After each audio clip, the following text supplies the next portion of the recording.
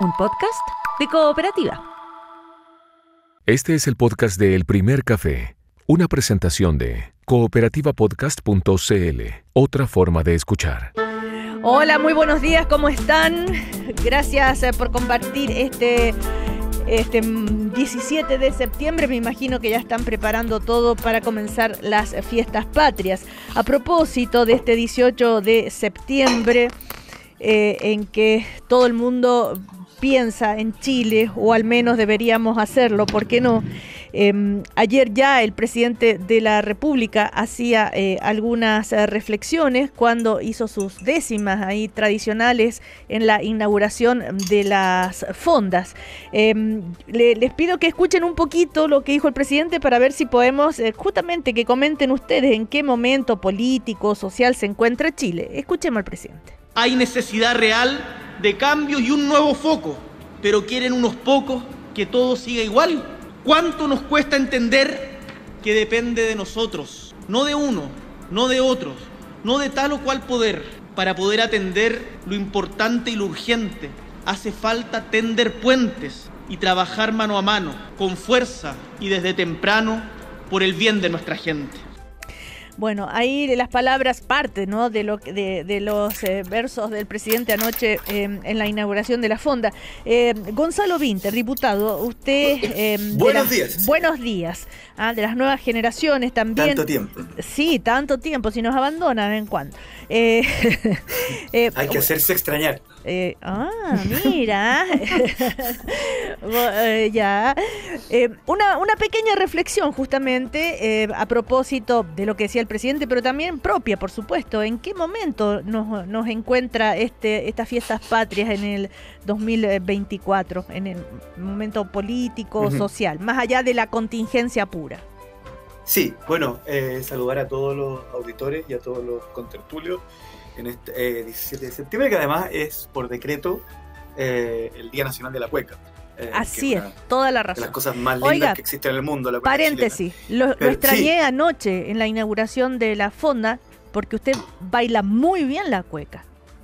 Eh, no, pero estuve y bailé como loco, solamente ah, que las cámaras no me ah, enfocaron. las cámaras no me enfocaron. o sea, hable con el señor Francisco Vidal, con el señor Luxich y con, Heller y con Paramount, porque no me enfocaron, pero estuve ahí. Me ah, muy bien, ya, sigamos. Ya, sigo. Eh, a ver, yo creo que, creo que este 18 está marcado para mí por dos hechos políticos de alta significación que los quiero eh, contraponer al espíritu del proceso de independencia. ¿ya? Esos son el cierre de Huachipato, me parece que es un hecho político más importante aún que el caso Hermosilla, eh, ocurrido ayer, donde se apagó la caldera después de 75 años, y el caso Hermosilla. ¿Qué es el caso Hermosilla para mí en contraposición al, al espíritu no, no de la jura eh, del 18 de septiembre de 1810 específicamente, pero sí de a lo que acudieron ese día personas como Manuel de Sala, Fray Camilo Enrique, Juan Martínez de Rosa y el mismo Higgins, que era mm. del, del, bando patriota en ese momento, inspirados por la Revolución Francesa, por la independencia de Estados Unidos, etc., ya pensaban en un ideal republicano. Y el ideal republicano se basaba en el, el, que tenemos hoy día casi todas las repúblicas como artículo primero en general, que es la idea de que los hombres nacen libres e iguales y que, y que se eliminan las mm. castas eh, y los privilegios de nacimiento. ¿Qué es lo que hace el señor Hermosilla? Y esto es súper relevante decir. El señor Hermosilla lo que hace es cambiar poder económico, es decir, dinero, por poder político. Es decir, altera um, ilegalmente, de manera corrupta, la igualdad ante la ley, ¿no? Tú eres del grupo Jalaf y accedes a la República a través de dinero a privilegios de la República que no te corresponden constitucionalmente. Tú eres del grupo Patio y obtienes de la, o eres amigo de Andrés Chadwick que tienes un problema con la CMF y accedes a privilegios de la República que no te corresponden legal y constitucionalmente únicamente mm. porque tienes dinero. Eso para mí es algo que yo creo que todos los chilenos intuíamos que pasaba todo el tiempo.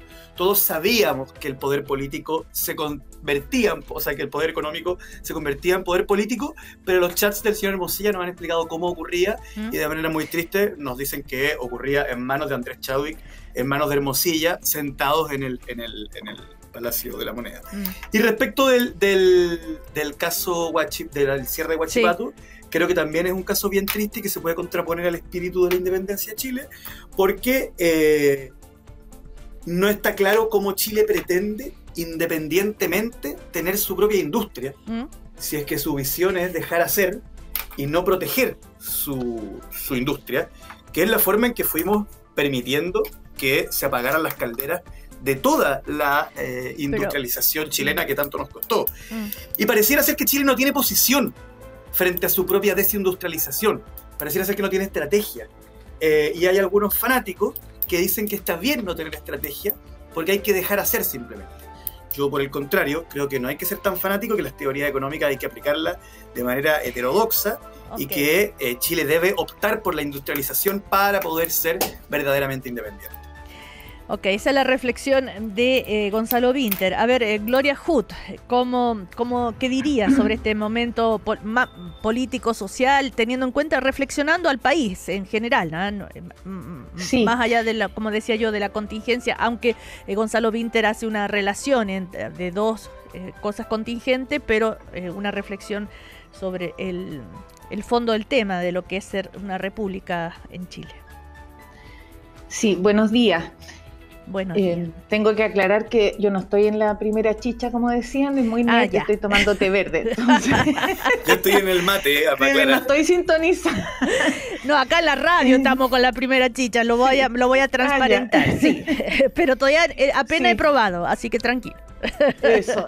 Cecilia, yo voy a, a recurrir a algo que leí hace poco, ¿Mm? el informe del Programa de Naciones Unidas para el Sí. Desarrollo, el informe PNUD, ¿Mm? Que ha sido criticado eh, y, y criticado por bastantes personas de nuestro sector porque eventualmente tiene un sesgo, pero yo lo leí completo y encuentro que tiene un muy buen reflejo de estado de ánimo de las personas. Y hay una cosa que a mí me deja muy, eh, muy preocupada, es que en general la sensación de las personas ¿Mm? es que por sus propios medios es difícil que vayan a lograr los cambios que quieren. Más o menos 70% de la gente dice que quiere que haya cambios, pero no volver a lo que había, sino como innovaciones. Ujú.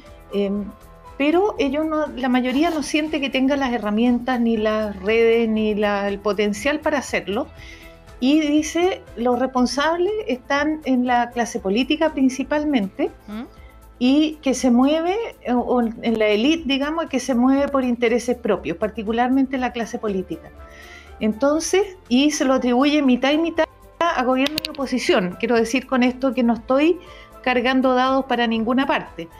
Pero lo que hay una, una sensación de desencanto y desesperanza en el sentido que las personas dicen, yo quiero cambios, pero Ujú. por mí mismo no lo puedo hacer y los que los pueden hacer tampoco lo van a hacer porque les interesan más su- sus objetivos. Claro. Y me parece que eso explica por qué la sensación de desesperanza es tan grande y eso nos lleva a la contingencia. Porque cuando vemos que hay una especie de, yo lo llamo las redes subcutáneas, ¿no? en que hay una dinámica de administración del poder al que no tienen acceso las personas no la- no- o no tenemos, porque yo tengo que decir que habiendo sido ministra no tenía acceso a ese tipo de dinámica. Eh, claro, queda la sensación entonces de que eh, todo lo que nosotros mismos en Evopoli promovemos, el mérito, el esfuerzo, el trabajo que la gente también valora mucho, eh, no es lo que finalmente te sirve para O sea. O sea, y un- creo que eso Mm, es, es una marca de lo que está pasando ahora y nos tenemos que preocupar muchísimo. O sea, no es, no es muy optimista el estado eh, en, que, en que se encuentra Chile, ¿no es cierto? En, en este No. momento, 213 años creo que cumple Chile, ¿no? Em, Sí, el, el estado de ánimo es muy, eh, es muy Mm. de desencanto. Claro. Y yo creo que ahí está el gran desafío, Mm. porque que se limpie todo, todo lo que tenga que limpiarse. Por ejemplo, en el caso de Sí. Hermosilla, en el caso del Poder Judicial, yo creo que es un camino para Mm. que las personas recuperen la confianza en que efectivamente Ahora, tienen algo que hacer y que pueden esperar algo. Ahora, no es la primera vez que Chile o, o que todos los países cada cierto tiempo se enfrentan a este tipo de crisis, ¿no? No, no, no, no. No, claro. Este, el tema es eh, cómo se aborda o en fin. Pero, mm, a ver, eh, eh, Lautaro Carmona, ¿cómo lo ves en esto del momento político, social que, que- que está viviendo Chile a propósito de este nuevo aniversario? Eh, bueno- buenos días. Buenos Cecilia, días, Buenos sí. días a las y los panelistas. y a las personas que siguen este programa. A ver, yo quisiera partir a propósito de las fiestas patrias, de rendir un homenaje a tantas y tantos que le entregaron un acervo desde el punto de vista cultural a Mm. nuestro pueblo, y lo digo tal cual, directamente a nuestro pueblo. Y lo quiero simbolizar en alguien que a propósito de un homenaje a la lucha eh, de los vietnamitas por su liberación, nos legó el derecho a vivir en paz. Mm, Se han cumplido 51 años del asesinato alevoso y traicionero y cobarde de Víctor Jara. Mi homenaje a Víctor Jara en esta posibilidad que tengo de hablar sobre, en este programa. Dicho eso, creo que eh, Gabriel Boris, el presidente de la República, ha hecho de esta pieza, de esta décima, de esta expresión folclórica, Mm, un verdadero mensaje político de comprensión muy directa. Eh, toma nota de las necesidades de avanzar hacia los cambios, por tanto tiene plena claridad, digamos, que faltan cambios, y también toma nota de que estos son urgentes y que son en beneficio de mayorías. En esa perspectiva creo que uno puede relacionar, además de lo que ya se ha dicho aquí, en la necesidad de completar una política integral de parte del Estado en lo que es la seguridad pública, que garantice la lucha contra el crimen organizado, el narcotráfico, Mm. etcétera, para que la convivencia entre las distintas comunidades, incluyendo las que en estas horas celebran una nueva versión de las fiestas patrias, sea en respeto, sea reconociendo la diversidad y sea una manifestación de alegría y no una tragedia posterior. Claro, Por eso también me hago cargo de que todos conduzcamos sí. sin alcohol eh, incorporado, digamos, porque el riesgo eh, solo se sabe cuando se consuma. Claro. Eh, creo que en el plano de los grandes temas que tiene el país, eh, comparto que deberíamos avanzar mucho más a la idea de una soberanía económica, pero eso tiene una contradicción con la llamada, entre comillas, globalización y Estado subsidiario. Ahí radica en la esencia la pérdida de Huachipato como una empresa del Estado de un acumulado histórico, 70 años, eh, aportando en la economía nacional y no fue capaz de eh, sostener una competencia abierta sin eh, mecanismo de defensa frente al mercado mundial.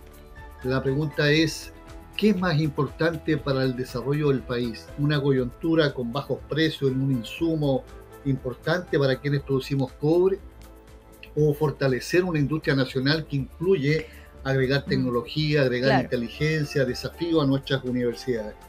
Creo que el mensaje que deja el presidente, y entiendo que esa era la motivación que se nos hace, es para realmente cavilarlo en forma consciente y darse cuenta que quedan muchas cosas por hacer en el plano del fortalecimiento del Estado de Chile y estamos celebrando un aniversario patrio que es la independencia y la independencia debe ser a todo evento, no solo desde el punto de vista de otras potencias Mm. extranjeras, sino también de grupos organizados que mediante el control del capital quieran también someter la independencia de Chile, que es lo que muestra el caso Hermosilla y el caso Vivanco y el caso de la afectación de los poderes del Estado, que entiendo será Mm, un tema posterior.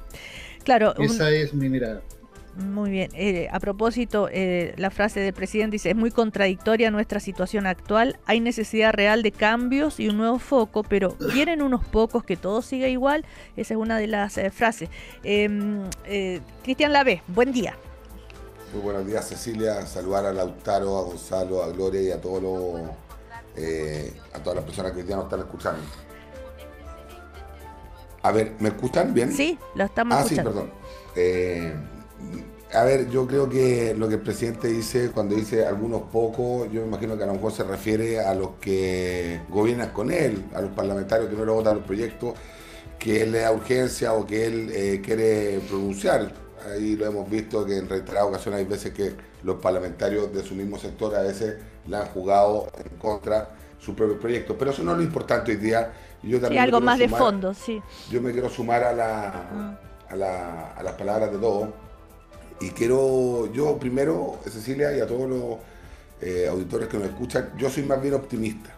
Yo creo en el pueblo de Chile, creo en la sabiduría de, todas las personas, esa sabiduría que tuvieron el 4 de septiembre, en donde rechazaron una constitución que a todas luces no iba a cambiar nada. Eh, luego también soy optimista porque creo que hoy día eh, eh, tienen la, posibilidad de poder elegir mejores autoridades. Y tercero, yo hoy día mi homenaje a la gloria del ejército, a esos miles de soldados que, no, que dieron su vida por su bandera, por su patria, y fueron capaces hoy día de poder tener un país libre. Y lo cuarto, creo que aquí todos los que estamos en política no podemos estar ajenos a lo que está pasando hoy día en la coyuntura política y en el tema eh, audio, en el tema de Hermosilla, en el tema de Vivanco, en el tema de las fundaciones que cerraron la plata de los, chilenos honestos, que con sus impuestos han podido cooperar para que el Estado avance.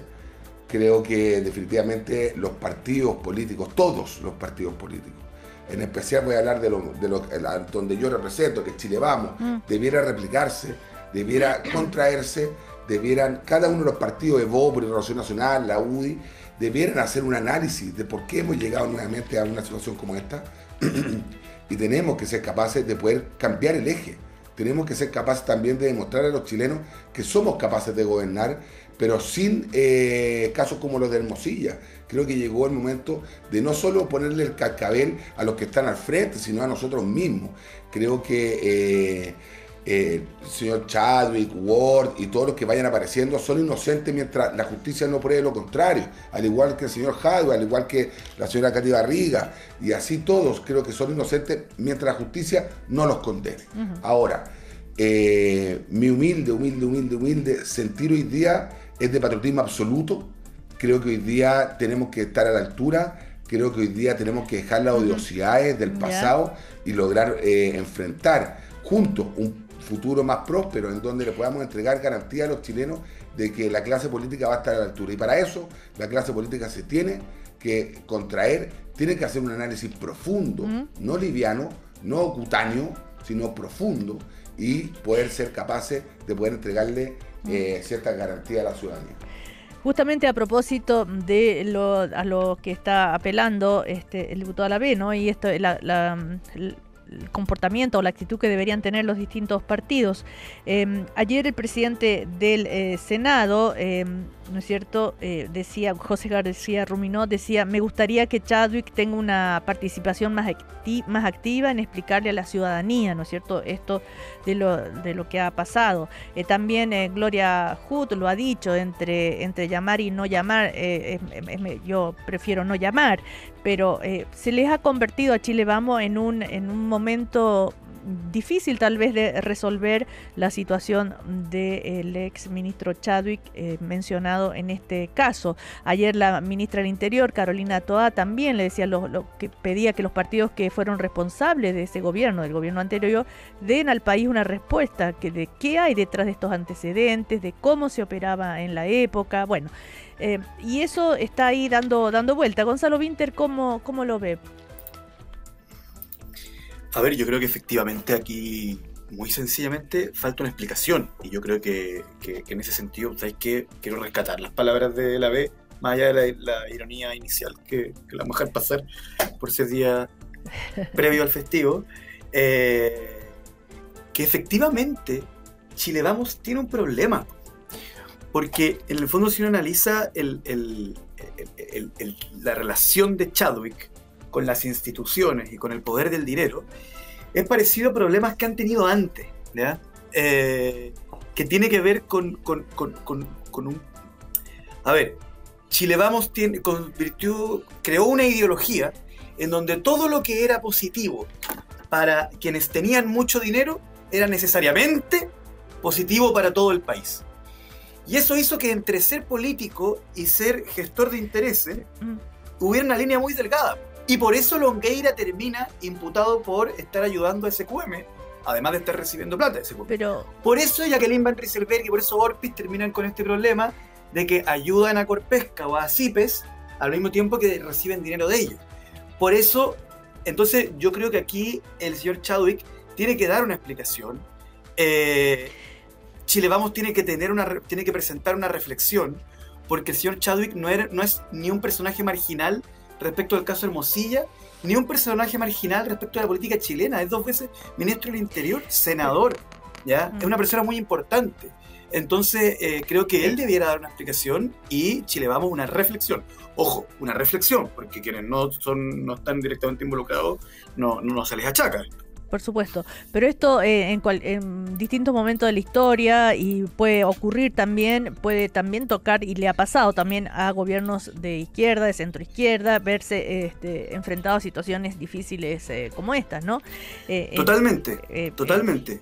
Pero, pero cuando pero cuando estábamos en el caso Fundaciones, sí. Eh, en realidad no, en el caso Fundaciones, porque mira, mira cómo el mercurio me termina, se termina metiendo en mi boca también. Específicamente en Democracia Viva, porque el resto de la fundación, del resto del caso Fundaciones no, no, no está muy vinculado, no, o nada vinculado al Frente Amplio, pero en el caso de Democracia Viva, mm. no hablamos de la UDI, hablamos todo ese programa del Frente Amplio. Entonces, cuando toca hablar de Chadwick, pucha, justo toca, es el día en que decimos, mejor hablemos de, de manera transversal, de los que están involucrados y de los que eventualmente el día de mañana podrían aparecer. No, lo que tenemos hoy día, principalmente, es el tema Chadwick. Seguimos en este primer café de hoy con Cristian Label, Lautaro Carmona, Gonzalo Winter, Gloria Hut. Estábamos hablando sobre la actitud que deben tener en general la élite política y en esta circunstancia en particular, ¿no es cierto? Estábamos hablando de Chile Vamos y el caso Audio, el caso Chadwick. Se ha hablado muchísimo durante todos los primeros cafés desde que comenzó esto. Eh, Gloria Hut se ha referido esto públicamente ya eh, bastante, ¿no es cierto? No sé si ha habido alguna variación en su postura, Gloria, desde hace dos días o un día a la de hoy. Sabemos que dice que esto tiene que ir a la justicia, que la justicia lo, lo, vea, que por el momento no, no hay nada que, este, que se le esté imputando a Andrés Chadwick y lo único que dijo usted, bueno, sí, entre llamar y no llamar yo hubiera preferido que no se llamara, pero este, nada más. ¿Eso sigue siendo la postura, Gloria? Mira, lo que pasa es que aquí hay una complejidad importante y se trataba un poco de dividir lo que tiene que ir a la justicia de lo que es el impacto político y los dos son reales y hay que reconocer que el impacto político existe. Esta, esta llamada no es una llamada cualquiera, no es un saltarse la fila cualquiera, es una cosa que eventualmente se hizo claro. Eh, en favor de un grupo que está siendo investigado en la justicia. Entonces tiene una connotación que va más allá de saltarse la fila. Obviamente saltarse la fila es incorrecto en cualquier parte, no, yo no tengo dudas de eso. Eh, y, por eso dije también que entre llamar y no llamar, yo creo que no hay que llamar, sobre todo porque son organizaciones cuya independencia es la que garantiza el buen funcionamiento de los mercados. Entonces hay una, implicancia importante. pero, pero también creo que dada esa connotación em, jurídica, que judicial que tiene, es muy importante escuchar la voz de la justicia. Eh, independientemente de que el impacto político también hay que considerarlo, y eso lo tendrá que evaluar el propio Andrés Chadwick. Aquí siempre en, política hay que priorizar que, es el, que son proyectos colectivos.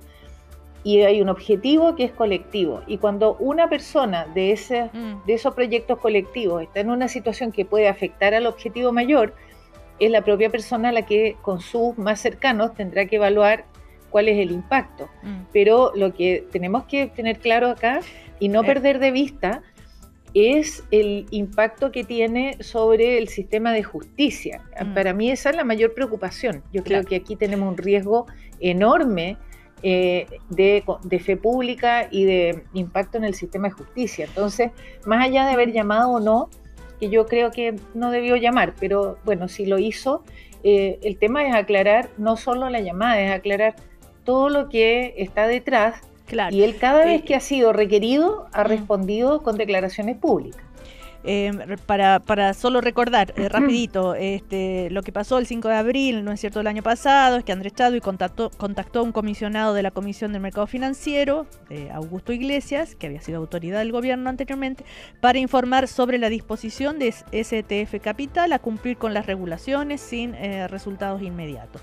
Entonces, y él lo que dijo, eh, ¿no es cierto, Andrés Chadwick? Yo mm, se me solicitó realizar la consulta que se informa meramente sobre el procedimiento regulatorio para realizar no tuve ningún contacto ni antes ni después con ninguna persona relacionada con STF, pues no se entiende entonces por qué está consultando sobre STF, pero bueno, eh, esa es la declaración de eh, Andrés Chado. En todo caso, hay voces, ¿ah? como la jefa de la bancada de Renovación Nacional, la diputada Jimena Sandón, que dijo que sería un acto de generosidad hacia el sector por parte del exministro el hablar directamente sobre el tema, porque resulta incómodo eh, para ellos, dijo, estar sin atacar o defender a una persona muy respetada, respetada eh, en nuestro sector. A ver, Cristian Lave, ya sabemos la presunción de inocencia, todo eso, sino el impacto político.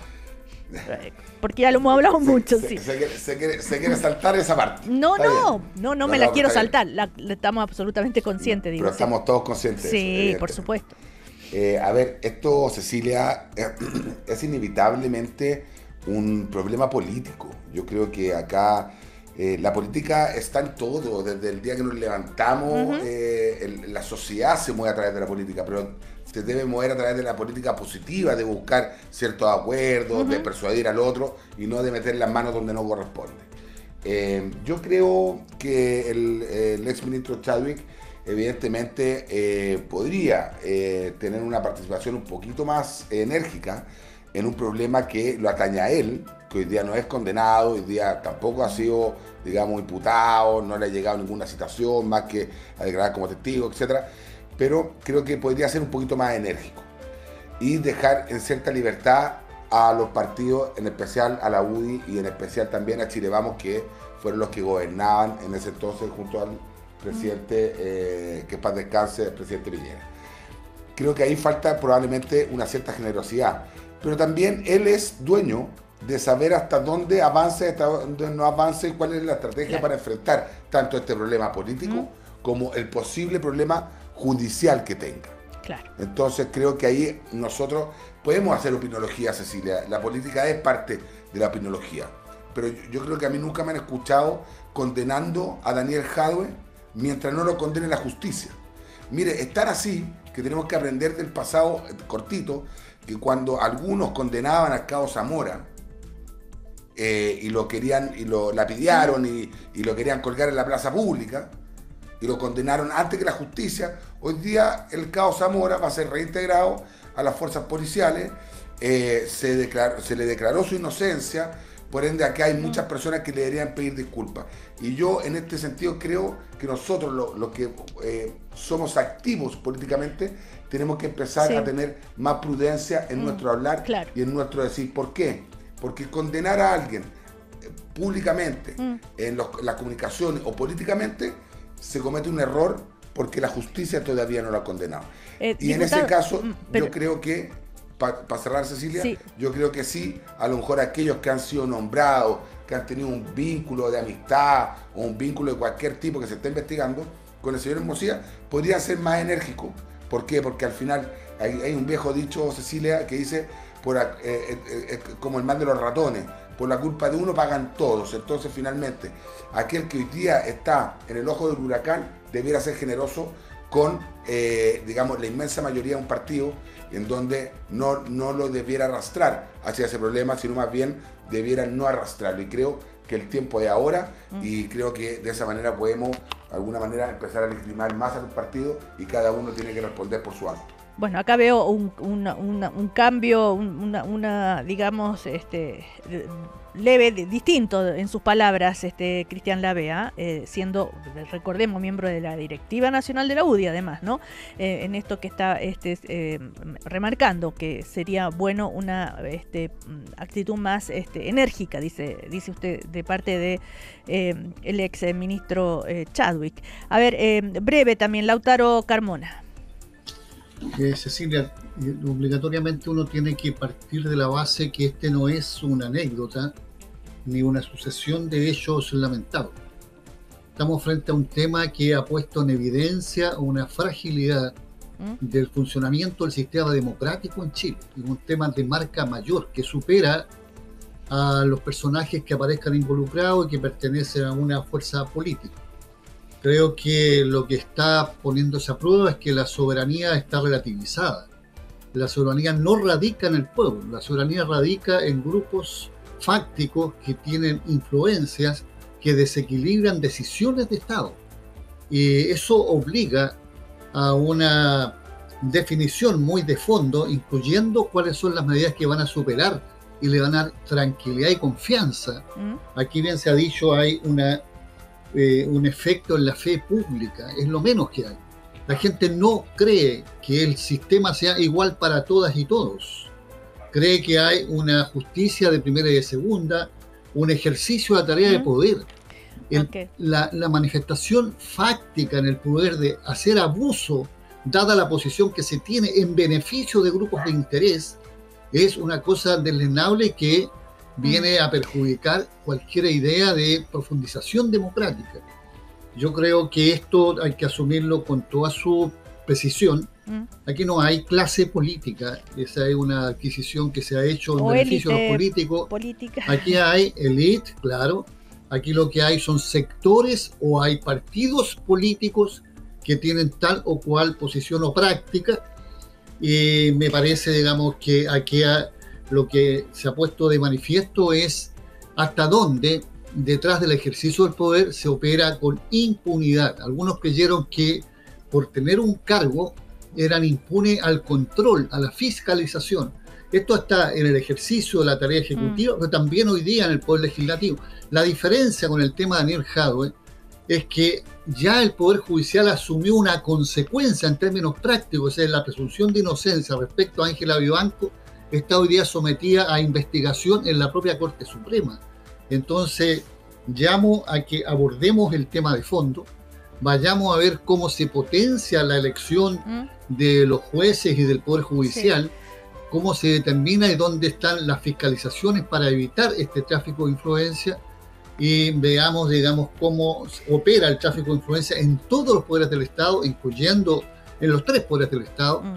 porque es lo que está cuestionando la solidez del sistema democrático para que el país avance y para que todas y todos se sientan parte de esta sociedad chilena. Eh, recordemos eh, que ayer la Corte Suprema, eh, a propósito de lo que estábamos hablando y del caso este tan grave, no sumó un nuevo cargo al cuaderno de remoción contra la ministra Vivanco. Y la tercera informa ahora que con orden de deserrajar dictada por el juez Urrutia, Carabineros allanó anoche el domicilio de la ministra Ángela Vivanco para incautar una serie de dispositivos eh, electrónicos. Eh, se llevaron otro celular, una tabla, un computador, en fin. Eh, y eh, la diligencia habría sido solicitada en base a que en la primera entrega voluntaria no se dio cuenta de la existencia de otros dispositivos electrónicos. Pero eh, fuerte esto, ¿ah? Eh, ya así llegar a, eh, digamos, a, la casa de, la, de, Vivanco a con la orden incluso que si era necesario deserrajar, hacerlo. ¿ah? Eh, esta es- esto, por supuesto, y más todos los otros jueces y las acusaciones constitucionales que van a ocupar tanto, digamos, la, la agenda ahí en, eh, en la Cámara. Eh, Gonzalo Winter, breve. Muy breve, eh, porque creo que, que- que le hemos dado vuelta al tema, pero Sí. quiero destacar dos cosas que se han dicho y que creo que han estado todos de acuerdo. A ver, la gravedad de esto es que la sensación que se provoca en la ciudadanía, o sea, esto, esto, esto es mucho más grave el efecto social que la corrupción municipal o gubernamental. ¿Por qué? Porque da la sensación de que los fallos judiciales o la normativa, ¿cierto?, que, que te permite que un Mm. proyecto salga más rápido, son una mercancía. Es decir, un bien que con dinero se puede comprar en el mercado. Es decir, el que tiene el dinero y el teléfono correspondiente para hacer la compra puede comprar un fallo judicial. Yo no estoy aseverando eso, estoy diciendo la gravedad que significa que eso se instale en la ciudadanía Claro. porque se pierde la fe pública. Parte de lo que nos hace funcionar como república sin un Estado, por decirlo de alguna forma, como de naturaleza, es que todos creemos en que cuando finalmente la justicia en su más alto tribunal nos dice esto es así, se convierte, una, se convierte en una verdad que todos decidimos aceptar para poder vivir en paz entre nosotros. ¿ya? Cuando empezamos a pensar que los fallos de la justicia en su más alto tribunal pueden estar corrompidos y pueden haber sido una mercancía, no hay fe pública eh, y, y por lo tanto no hay convivencia posible. Por eso yo creo que es correcto el llamado a la prudencia, pero también tiene que ser correcto el llamado a la verdad total. Mm. Porque yo creo, con mucho dolor, y diciéndolo profundamente enamorado de, de mi país, que el chat de Hermosilla nos dice un poco cómo funciona Chile. ¿Ya? Y lo que tenemos que hacer es luchar porque deje de funcionar así. Claro, recordar que em, se sumó ese nuevo eh, cargo, ¿no es cierto? Eh, y el Pleno resolvió ampliar el proceso por, comillas, irregularidades en la tramitación de siete causas. Em, eh, en el caso, ¿no por eso decía lo que decía el diputado también. a ver, em, Gloria Hut. Y a, eso le agrego, perdón, ya eso le agrego, ya eso le agrego, Cecilia, la, la investigación que el MIMBU tenía como sumario y que se lo pasó al Ministerio Público diciéndole, mire, ¿sabe qué? Esto, esto no es para sumario, esto parece más grave, así que no le corresponde a usted. Así es. O, eh, dicho de manera correcta, reviste caracteres de delito. Eh, no, pero no lo ha dicho así el, el, ministro Montes. ¿ah? No, pero cuando alguien le entrega, cuando alguien le va, cuando cualquier ciudadano va al, a la oficina del Ministerio Público a decirle algo, se entiende que es porque ese ciudadano interpreta que, hay algo que reviste características de delito. O que se debería investigar al menos. Este, claro, se denota una modificación en los criterios, dijeron desde el MIMBU, ¿no? A, partir de este sumario que se había hecho para investigar la participación em, en de qué manera se había dado el permiso para una inversión al proyecto inmobiliario Parque Capital del Grupo Patio que ejecutó en Lampa. ¿ah? y donde recordemos se ha mencionado al exministro Ward y él ya ha dado las explicaciones que eso era uno de muchos otros que se habían acelerado este proyecto, ¿no? Que se habían acelerado. Em, eh, Gloria Hut.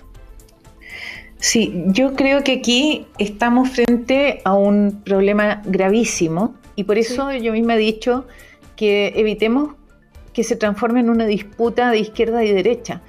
Eh, que, no podamos confiar en la justicia, en los ministros de la Corte Suprema, es de una gravedad realmente que no habíamos visto en mucho tiempo en Chile.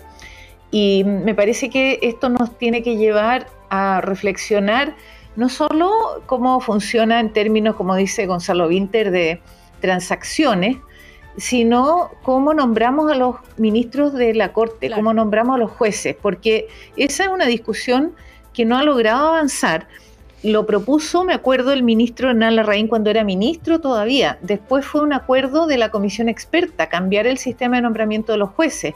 En el Consejo Constitucional lo analizamos, pero con mucho detalle, mucha profundidad y había acuerdo transversal yo creo que todos y el gobierno ahora dice que va a mandar un proyecto en, octubre, sí. Y, ni siquiera hay que, hay mm. que em, elaborar mucho porque hay una base que es, por ejemplo, todo lo que acordó el Consejo que puede servir. Pero yo creo que esto necesita no solo despejarse rotundamente, o sea, mm. que quede nítidamente claro todo lo que pasó y, y como he dicho yo misma, caiga quien caiga, porque no, puede, no hay espacio para, eh, para ningún tipo de transacción, acuerdo. No, aquí tiene que despejarse. Y aparte de eso, revisar estructuralmente cómo se llega a esto y mm. corregirlo. Claro. Bueno, eso es lo que se ha estado, ¿no es cierto? Eh, eh, eso ha sido transversal, la necesidad de cambiar este sistema, lo hemos conversado tantas veces ya. Cristian Lave eh, muy breve el, rol, el, lo que pasa con Ángela Vivanco, esto que se anunció ayer, ahora que sabemos que anoche eh, se allanó su domicilio eh, en busca más y lo que ha dictaminado, ¿no es cierto?, de ampliar los, sí, el cuaderno de, de Cecilia, yo, yo creo que tenemos que empezar a dar señales más claras. Yo comparto un poco todo lo que se ha dicho acá respecto al caso de Vivanco. Pero yo quiero ir un poco más allá y le pido al diputado Winter a ver si se conmigo. Por intermedio de la Cecilia, evidentemente. Oye, eh, no, si pueden hablar, pueden hablar entre ustedes. Si yo no soy ah, la presidenta de la Cámara, ya, vamos. Pero es que estamos, estamos, habituados. Sí. En el caso de Ibanco, en donde todo, porque hay, hay, otros dos jueces también que van a ser eh, sujetos de acusación constitucional. Por ende, vamos a tener tres acusaciones constitucionales de un poder del Estado a otro por irregularidades. Eso ya lo entendemos, lo sabemos, cada día van saliendo más antecedentes. En el caso de la señora Ibanco, yo invito, y lo, he planteado con algunos, algunos diputados de derecha e izquierda, en que en el caso de, la acusación constitucional contra Ibanco debiéramos hacer una sola acusación, porque van a haber dos. en el Congreso. Entonces, una cosa es por eh, economía procesal, pero lo más importante es para dar una señal. O sea, si usted me pregunta a mí, Cecilia, yo creo que esa acusación constitucional debería estar firmada por los 155 parlamentarios. ¿Por qué? Porque esto es de extrema gravedad. Eh, acá eh, nadie puede decir, mira, esto es un poquito más grave, esto es menos grave, este caso. Y además la política tiende, y, y, uno ha cometido el mismo error, a comparar este caso con el caso de Fundaciones, con el caso del hijo de la presidenta Bachelet. No, este es un caso hoy día contingente, nacional, que eh, tenemos que dar señales claras. Y yo creo que una señal clara sería que todos trabajemos en esa acusación constitucional. ¿Para qué? Para que dar una señal clara que el Congreso va a estar alineado y esto no es un problema de derecha e izquierda de quién era el teléfono o de quién no era el teléfono. A ver, el diputado Winter, ¿qué, la, la, propuesta de Cristian Lave? Habiéndome dado la palabra la presidenta del panel. Ya. Eh, Cortito. No, le encuentro, le encuentro toda la razón al diputado Lave en este sentido. Obviamente que no se puede garantizar aquello porque una posición constitucional tiene muchísimas páginas y vamos a ver si logramos ponernos de acuerdo en cada una de ellas, que es algo que se suele hacer, que uno está haciendo permanentemente en el Congreso, para que la gente sepa, en las comisiones investigadoras, cuando terminan las sesiones de audiencia, uno trata de hacer el informe y uno siempre empieza a hacer el informe intentando que todos los diputados de la comisión estén de acuerdo, hasta que llega un punto, una frase, una palabra o un, o un capítulo completo en el que no hay acuerdo. Pero el, el, el, objetivo y en los términos en que lo plantea el diputado de la B, lo comparto completamente. Pues, o sea, diputado Winter, podemos hacer un esfuerzo de demostrarle a Chile que el Congreso va a estar a la altura en el caso, por ejemplo, de Banco. Por eso, me parece, me parece, que eso es correcto. acá Estoy de acuerdo. Acá se hizo un acuerdo acá en el primer café ya. El acuerdo del primer café en, la, historia. No era la primera chicha porque yo estoy tomando chicha. Ah. Me, confundieron. Vamos a ir a comerciales a la vuelta ya. Pero se puede decir algo, ¿no? Sí, sí. Le queda poquito, un, minuto, Lautaro, era por eso. Siga. De inmediato, primero, no podemos tapar el sol con un dedo respecto a la crisis que ha creado el hábito, el método, la política, la opción que sectores o vinculados a la derecha política están llevando adelante con este método fáctico de alterar el funcionamiento del Estado. Esto es eh, realmente, no, no podemos eh, trasladárselo a todas y todos. Aquí no puede haber, digamos, una idea de que todos somos responsables porque Chadwell lo hizo, porque Wall lo hizo, porque Vivanco. No, aquí hay responsables, tienen un método y un hábito que se origina en la impunidad para ejercer las tareas de poder y eso debe también abordarse. Lo otro sería distorsionar y no sacar conclusiones y volveríamos, digamos, al caso Penta en cuanto a igualar y hacer cuestiones que no afecten la crisis mayor. La crisis va a estar existiendo en tanto no se tomen medidas reales, caiga quien caiga. Último bloque, nuestro primer café de hoy con Gloria Hut, Gonzalo Winter, Lautaro Carmona, Cristian Labé. Bueno, la, agenda en eh, la Cámara se viene bien eh, abultada. Recordemos que además de todos los eh, proyectos de ley que se están discutiendo, el fast track en seguridad, económico, tenemos también se viene la ley de, de presupuesto, en fin, y estaba la idea de de presentar el proyecto que pone fin al sistema de financiamiento de la educación superior, el, conocido CAE, ¿no es cierto? Y em, finalmente, algo dijo ya ayer el ministro de Educación, lo confirmó esta mañana el ministro Álvaro Elizalde, no se va a presentar todavía en septiembre, sino que será eh, después, por las razones que dijo el ministro justamente porque, eh, ¿no es cierto?, hay otras eh, eh, prioridades en, por el momento como estado de la ley de presupuesto que tienen que, darle lugar a aquello. A ver, Gonzalo Winter, ¿sí, qué, pasó acá y qué sabe sobre este cambio de estrategia? No, sobre el cambio de estrategia no, no, no, sé qué es lo que ocurre. Yo me imagino que el gobierno sigue, digamos, moldeando la propuesta hacia la necesidad de eh, juntar voluntad. Y cuando digo juntar voluntad me refiero a votos en el Congreso. Y eso está bien, eso así es la política y en el Congreso, como muy bien sabemos, los votos se cuentan. Por lo tanto, está bien que los gobiernos moldeen sus propuestas a la obtención de votos. ¿ya? Eh, sí, yo quiero destacar y quiero aprovechar la oportunidad de decir que esto es extremadamente urgente, extremadamente necesario que la forma en que la información que ya se ha entregado eh, por parte del gobierno preliminar respecto del proyecto eh, cumple con los requisitos de responsabilidad fiscal, pero hay que despejar algunos de, de, los mitos que se suelen decir respecto de esto, como por ejemplo que una eventual condonación de parte de, o, o de gran parte de la deuda es eh, no sería contradecir el principio de focalización del gasto, porque tenemos que recordar que los deudores del CAE en su mayoría, en su mayoría son personas que habiendo estudiado, habiendo estudiado, habiéndose endeudado, habiendo enriquecido a una universidad y a un banco, ganan menos de 500 mil pesos, es decir, ganan, ganan el mínimo. Sí. Que gran parte de ellos no terminaron las carreras y son trabajadores precarizados que le pagan intereses usureros de hasta el 6% a un banco por una ley que estuvo mal hecha y que estuvo hecha a la a, enfocada a mi juicio o excesivamente entregada al interés de los bancos, teniendo a esos jóvenes, a esos trabajadores, para ser más preciso en el término, como pero, víctimas de una mala decisión del Estado. Pero acá y que hoy crítica, día, además, la crítica. no pueden emprender, no Sí. pueden puta, tomar un departamento, no pueden tomar una línea eso, de celular. eso estamos todos conscientes. Pero el tema de la crítica es que no. no todo. que- Pero bueno. Eh, está eh, en general, yo creo que sí. Lo, el tema es eh, que, que, que creo que al gobierno le toca aclarar muy bien qué va a hacer, porque se, se dice cómo van a condonar toda la deuda. Eso es imposible fiscalmente hablando. Y, y no va a ser así, de hecho lo han este, ya explicitado, han, ¿verdad? dicho, ya han dicho que no es toda la deuda, ya han dicho que es un, que, que es un cambio en el mecanismo en, del cobro,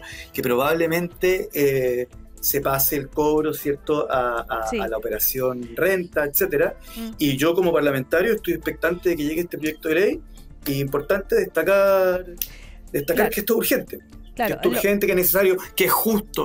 Mm, La, la ministra eh, eh, Vallejo dijo que va a abordar a, lo- al- a todos los deudores, pero en con distintas soluciones, entre condonaciones y otras medidas, ¿no? Es decir, parece que va a ser, este, incluso también se va a dar algún gesto a quienes sí están al día. Eh, así lo dijo también el subsecretario So- de educación, solo para eh, cerrar, solo para superior, cerrar, sí. tengo la impresión de que justamente va a ser un proyecto muy complejo ¿Mm? porque las realidades son muy diversas. Y para poder ser justo, generalmente cuando uno, cuando uno legisla Mm. en general y abstracto, eh, termina cometiendo injusticia porque las realidades son muy diversas Mm, y si tu ley es muy rígida y no hace las distinciones correctas, mm. termina favoreciendo a quien no lo merece o perjudicando a quien no lo merece. Y por eso es que yo creo que este va a ser un proyecto de ley sumamente complejo y compuesto de distintas soluciones Di- para distintas realidades de distintos trabajadores. Ya, pero eh, desde la oposición eh, hay- se han escuchado críticas como la del secretario general de la UDI, el diputado Juan Antonio Coloma, que dijo, llamamos al gobierno a dejar de utilizar el CAE como una herramienta político-electoral. Eh, también sabemos que, según han dicho ah, de parte de las autoridades de gobierno, que se ha conversado, con- se ha ido conversando con distintos sectores. No sé si ya se conversó con Evópoli, Gloria Hood. No, nosotros hemos hecho planteamientos respecto a esto desde nuestro centro de estudio horizontal. Pero el Em, ministro no se ha reunido con ustedes para explicarle el proyecto. No, no. Eh, no con nosotros por lo menos como directiva.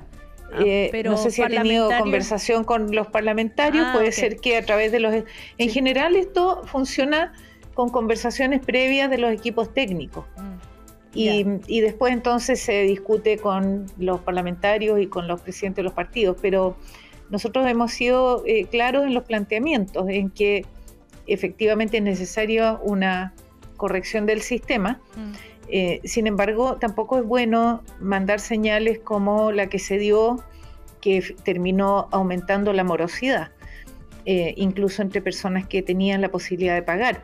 Lo que hemos planteado nosotros es que, eh, que exista un mecanismo de financiamiento que sea y que su pago sea contingente al ingreso, es decir, que pagues en la medida y en una proporción de lo que ganas y por un tiempo largo y que si después de una cantidad de años eh, no pudiste pagar, eso sí se condona, pero hay mecanismos que hacen es más sano el sistema en el sentido de que le da equilibrio financiero de largo plazo. Claro, se habla. Eso es lo que está ahora muy descompensado.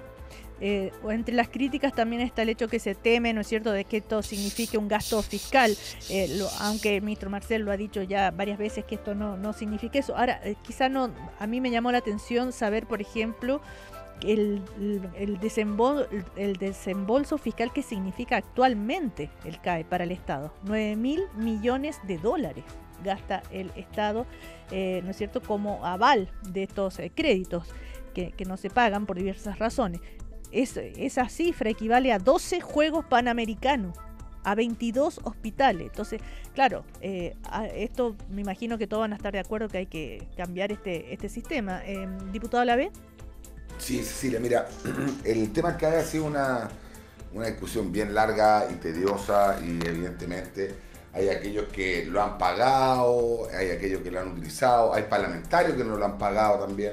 Entonces, eh, concuerdo con el señor Winter que lo que vaya a pasar y el proyecto que vaya a ingresar eh, el Ejecutivo, que tiene todas las facultades para hacerlo, eh, tiene que ser bien laxo en el sentido de darle a premiar a aquellos que han pagado y castigar a aquellos que no han pagado o aquellos que han abusado. Yo creo que ahí hay que ser bien cuidadoso y tiene que ser un proyecto para que pueda ser lo más justo posible. Ahora, también eh, vamos a esperar el proyecto porque esto es lo mismo, el, gobierno del presidente Boric, por lo general está como amenazando que va a ingresar el proyecto y no han ingresado nada mucho. Entonces, eh, sí, porque está, se quedan titulares, creo que finalmente el presidente está mejor de poeta que gobernador, para ser bien duro y directo. Pero eh, para nosotros, al menos para mí, yo creo que hoy día Chile tiene prioridades bastante más urgentes como la lista de espera, generar más empleo y generar ciertas seguridades para poder generar un ambiente para poder hablar de esta deuda. Mientras el Estado no genere más recursos, mientras el Estado no genere más incentivos para que la gente emprenda, para que la economía se mueva mejor, para que los capitales lleguen, difícilmente vamos a poder solucionar el tema eh, Ahora, solo para terminar, ¿Usted sabía que el, desembolso fiscal que significa el Estado actualmente es, el CAE? Me quiero, enfocar me quiero enfocar en eso. Si el proyecto tiene que ver con alivianarle la carga al Estado, bienvenido sea, para poder utilizar esos recursos en otras cosas, los 22 hospitales, los 12 panamericanos, en seguridad, en emprendimiento, etc. Pero si el proyecto es un titular para generar eh, un, incentivo perverso en las elecciones en las cuales estamos enfrentando ya en casi 40 días más, creo que el gobierno Ay, se nos cortó justo la comunicación con eh, Cristian Lave cuando iba a decir una frase clave sobre qué opina él de este, la, oportunidad de presentarlo. El Lautaro Carmona. Yo creo que este es, primero, un tema que atormenta a una cantidad muy grande de personas. Sí.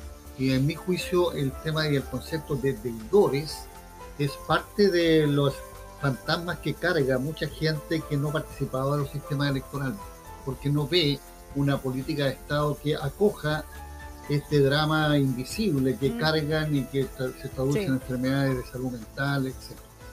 Lo segundo, creo que el ministro Cataldo ha hecho un ejercicio de diálogo con todos los sectores en todos los tramos que sean vinculantes a explicar una política y a lograr, digamos, un respaldo a esa política. Y el solo hecho de mostrar con números cómo es posible disminuir una carga para el Estado por la vía de una nueva política de financiamiento y de una focalización de frente a los deudores, creo que merece el respaldo de, de, todas las partes. Mm. Lo tercero, nunca hay buena fecha o siempre hay buena fecha, como se quiera leer, para una política justa y necesaria quiero sí recomendar, digamos, que no se pase de largo la profundidad de una poesía, porque aquí se ha mencionado que es buen poeta, las poesías tienen contenidos, hay que leerlas, no solo riman, no solo son frases bonitas, tienen contenido, tienen mensaje, incluso han orientado a una buena parte de la humanidad a movilizarse tras causas justas. Así es que eh, eso en, en, beneficio de la cultura y, y el arte. Y finalmente, Creo que lo que está haciendo el gobierno de tomarse un par de días más en precisiones habla del sentido de responsabilidad, habla de cómo de verdad se quiere llegar adelante con una propuesta que sea aprobada y descomprimir esa angustia en tanta, tanta gente que tiene ingresos bastante limitado, bastante, aquí se hablaba del salario mínimo, a lo menos es de debajo de los 700 mil pesos sobre el 60% de los deudores del CAE y la política está anunciada con eh, proporcionalidad según cuál sea el nivel de endeudamiento que tenga cada persona, por tanto no va a ser en la raza ni posibilidades de aprovechamiento, sino una política de justicia social que mm. trata las cosas en su mérito concreto.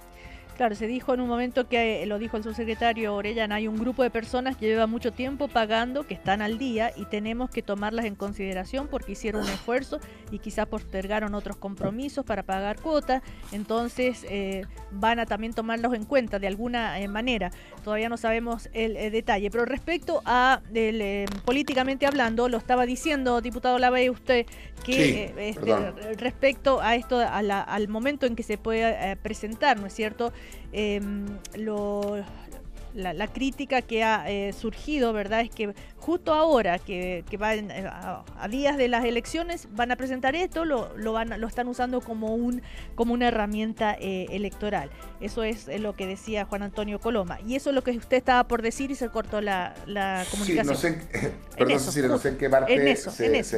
en eso. Evidentemente, uno esperaría que el gobierno fuera más serio porque está planteando presentar un proyecto en donde el titular dice eliminar el CAE y me da la impresión que eh, el ministro Marcel no está muy de acuerdo. Entonces, lo que está pasando acá es que lanzan un titular a todas luces para perversamente manipular ciertas elecciones y eh, básicamente pareciera ser que en la moneda quienes gobiernan junto con el presidente, que son los parlamentarios de oficialismo, no están todos de acuerdo. Y ha pasado en otros, en otros proyectos de ley en donde el gobierno quiere avanzar, pero son los mismos parlamentarios del gobierno que lo retrasan y no llegan a acuerdo.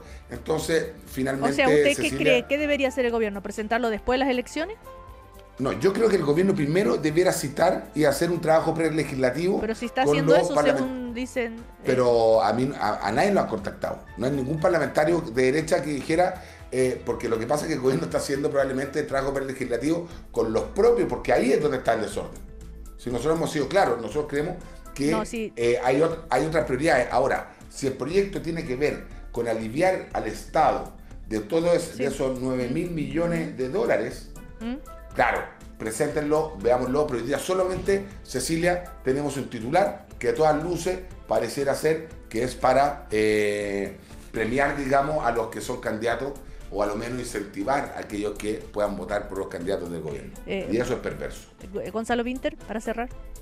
Sí, no, lo, lo, de que esto es una herramienta electoral es un poco absurdo porque este gobierno ha tenido muchas más elecciones que años de gobierno. el gobierno siempre está a punto de una elección, que le ha tocado por, la mezcla con el proceso constituyente, porque tenemos un periodo de cuatro años. Por lo tanto, si el gobierno plantea que va a dar una solución al CAE, tanto para los deudores actuales como para los futuros, generando una nueva herramienta, lo tiene que presentar. Y, eso, y esa discusión de, de, que, de cuándo, si es apropiado electoralmente o no, no tiene sentido porque siempre hemos estado a puertas de una elección.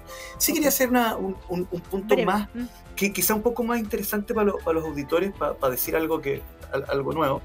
Yo encuentro, yo encuentro interesante que el diputado la vez plantee si esto es un alivio al Estado, está bien.